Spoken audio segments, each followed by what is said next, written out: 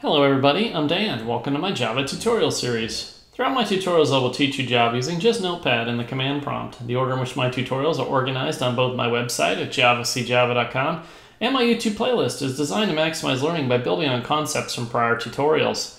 This tutorial is about regex regular expression boundaries. I'm going to open up my web browser to my website, javacjava.com, select menu, and regex tutorials. I'm going to scroll down here to the regex boundaries.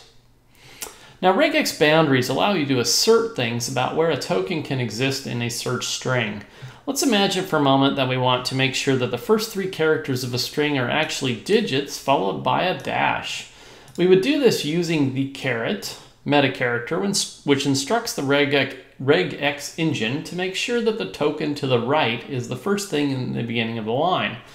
Okay, so for example, if this is our regular expression right here, we have our caret, right? And you don't want to confuse the caret with the negation symbol. That, that would exist if it's inside of, you know, square brackets, which is a character class, right? So at the beginning of a regular expression, this is saying that the token to the right, which happens to be this, but it's not just this, because this is a, of course, a capturing group, right? And this is a predefined character D, which is the digits 0 through 9. But this capturing group has a quantifier applied to it, and that's a quantifier for the exact um, basically three repetitions of that, okay? So this makes up the whole entire token right there. So that token must begin it, and then it has to be followed by a dash. So in our search string, 8675309 will return true when invoking the find method because it'll find this at the beginning of the uh, line, okay? Now we can use boundaries to make sure that a token is the last thing to exist in a line as well. We do this by using the dollar sign meta character to make sure that the token to the left is the last thing at the end of a line, okay? So the dollar sign, when it's at the end of a, um, a regular expression like that, that means that the token to the left, and the token to the left is not just this, because this is a quantifier, right? Our, our capturing group is paired up with the quantifier there. So this is basically saying we're going to have four digits at the very end of that, right? So the string literal 8675309 will find 5309 being at the very end of the string and will return true when invoking the find method. We can combine both of these, right, which is the first regular expression plus the second regular expression to validate basically like a seven-digit U, uh, United States telephone number, right, 8675309. Will return true when invoking the find method. Okay. Now another useful regex boundary is the slash slash b or the slash b as you'd regularly do it with the escape sequence on there, but which you can use to define a word boundary. You might be going, well, what's a word boundary? Well, let me give, let me explain that by example here. So we have our slash slash b here, and then we have our slash slash b here, and then we have the word car right in here, right? So your car is being towed. Now, car is essentially its own word right here, right? In other words, it's not sandwiched in as part of a word. Now the white space doesn't necessarily have anything to do with determining it. In other words, there's not like a slash slash s car slash slash s. It would return the same result, but that's not what a word boundary is. It's like its own independent word if you're surrounding it with the lowercase b's. That'll return true when invoking the find method.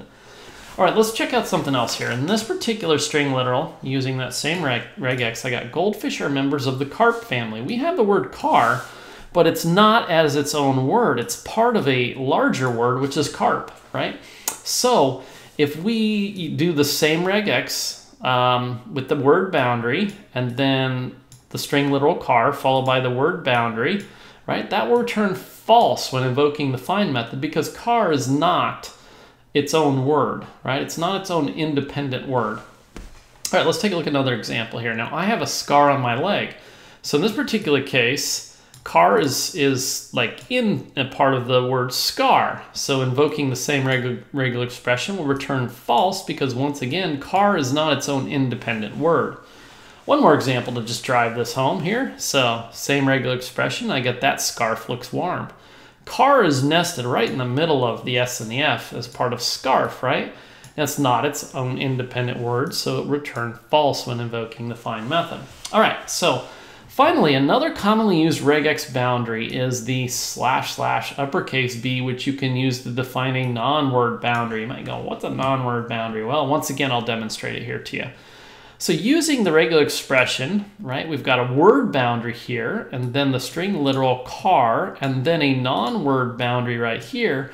If we use that regular expression to search that pattern there on goldfish or members of the carp family, this will return true because guess what? Car starts off as its own independent word there, right?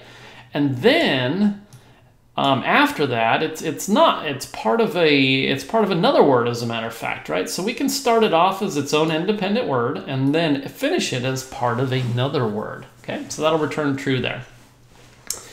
Now the same thing here. I have a scar on my leg where it starts off as part of another word and it ends as its own word. It ends. It could end as its own word, but it's part of a larger word. But we can start this off as a non-word and then of course car, the string literal, and then end it as its own word, okay?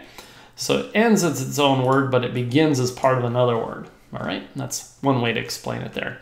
Now, if we do two non-words on car here, right, um, then it will come back on this particular string literal, and that scarf looks warm, right?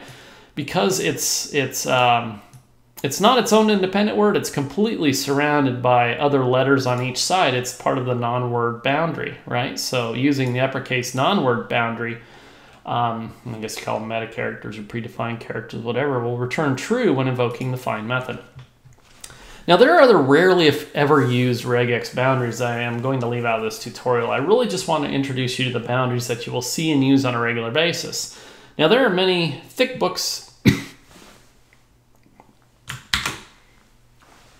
that go into the fine details of the regex language, but in a real world, real world scenario, and I'm just guessing, but I'm going to say about 25% of the regex language gets used about 95% of the time.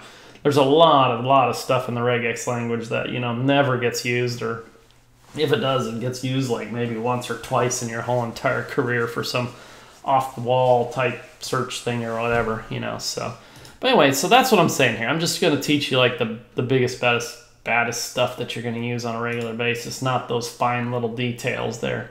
After all, this is a Java tutorial, and of course regular expressions are supported through the pattern and matching classes, so it's important to go over them, but not to the level of detail that you would go that you that you would go into if you're really just going to be like come like some serious regex person where you use them all the time. So, but anyway, with that being said, let's go down and come down here and highlight all the source code here Control C to copy or right click and select copy. I'm gonna move my browser off screen. I have a shortcut to the command prompt on my desktop, but if you don't, you can create one really fast by right clicking, selecting new shortcut, CMD next, and finish. It's just that easy. Let's open it up. If you're new to my tutorials, type in Java C, which is a Java compiler command, and you'll see all this stuff scroll by. However, if you receive an error message, watch my tutorial on installing and configuring the Java development kit. You want to make sure you get that installed and configured properly before continuing. CD, CLS to clear the screen, CD space backslash, CD is short for change directory, backslash tells it to go to the root. I'm gonna make a directory with the MD command called Java, and I already have that folder, but if you don't, it'll go ahead and create it for you and change directories to Java folder. I'm gonna make a directory here called uh, regex boundaries. Okay, we'll change directories to that folder, and we'll notepad regex boundaries.java. Okay, regexboundaries.java is the name of my source code file, also known as a compilation unit. Control V to paste. Let's come up here and save this right off the bat.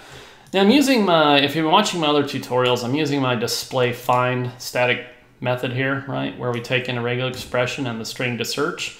We search it in uh, case insensitive and then we display, you know, what sort of finds that we get as, you know, invoking the find while we keep looping. We'll display what sort of results we get back by invoking the group command, a group method there. So, or we'll display, hey, no matches found. So let's go ahead and come up here, save this, take it line by line, clear our screen, Java C to compile it, Java to run it. okay, our first one, right, using what we were talked about up here, which is the caret, and when it's at the beginning here, that means that basically the next token, which is in fact this, and the quantifier must be basically three digits long, right? And then followed by a dash. So we do get 867 dash when we invoke that particular one there. Now the next one, it's fairly simple. We have our dollar sign at the end over here, which means everything to the left of that the token to the left of that, which is in fact basically like this right here, this capturing group with the digit, right? And we need four of them based on this quantifier here. So that combined there, we're gonna have to end this whole entire string with four digits. And we get 5309 returned back there. Combining both of them, we get found 8675309 in the 8675309. So that is our regular expression for, say, validating a seven digit phone number, well, three separated by a dash, separated by four, typical seven digit phone number for US there. So um, if we try something like uh, four digits dash three digits, of course, we're getting no matches found on that. So that's all fairly simple and straightforward on that. So I'm going to go ahead and scroll up on this here. and let's go into some of the boundary stuff here now. So uh, word boundary here, uh, car, right? We turn, we basically get uh, car, uh, regex basically has slash b car slash b, right? Don't forget about the escape character, escape sequences here, right? Found car in your car is being towed, right? So car is its own independent word here, right? When I say independent word, you might look at it and going, oh, well, okay, that means it's surrounded by spaces, and that's not correct at all. Take, for example, the next one here. We have the same regular expression, and we use the string, that was your car, right? Now look at that, it found car in there too as well. Even though you can see car has a space to begin with, but it's the end of the, um, it's the end basically of that string literal. So that means it is still its own independent word, right? Even though we don't have a space afterwards, it's its own independent word because there isn't any other characters following it. Now conversely, if we use that same regular expression and we started off car spelled backwards as rack, right?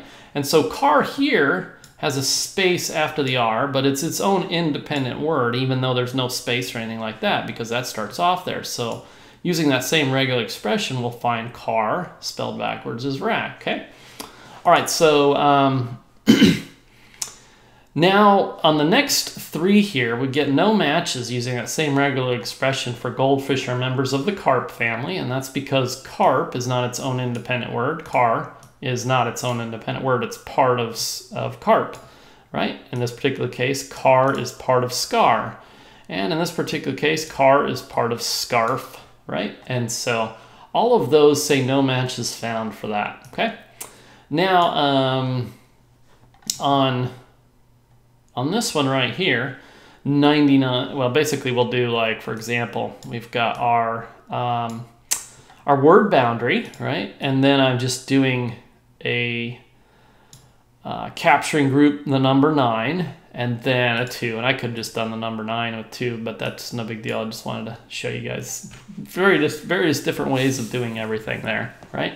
But basically the two is the quantifier two. So we're gonna have two 99s as part of, a 99 as part of its own separate word there, right? So 99 beginning over here is, is great there. And the next one, we got a word boundary followed by the number one, followed by the number nine. And then that uh, has the quantifier 3, so we have three nines applied to it. So in the um, string literal tonight, we're going to party like it's 1999, right? It goes ahead and finds, finds 1999 in there. Okay, so that's that's pretty much the word boundaries there. Now let's talk a little bit, uh, finish this up real quick there. It's not, not the longest tutorial. Normally I ramble on for quite a while here, but this one's pretty quick there. Let's talk about how to find the non-word boundaries, right? So we've got a word boundary here, car, right? In other words, car starts off as its own independent word, and then it can be part of something uh, to finish it up there, right? So um, for that particular one there, it found car and goldfish are members of the carp family, right? And, and then over here, we've got our non-word boundary starting off car, right? And it says, I have a scar on my leg. That will find car, and I have a scar on my leg. It's a part of scar. And then, of course, two non-word boundaries surrounding the string literal car there. Um, that scarf looks warm, found car, and that scarf looks warm. Okay, so um, those really are the, just the most common boundaries that you're going to be using there. You know, beginning, uh, end, and word boundary and non-word boundary there. So anyway, I'm going to go ahead and get rid of that. Get rid of that. I don't really have any final thoughts on this one here, but um, that pretty much uh, concludes this tutorial. Thanks for watching.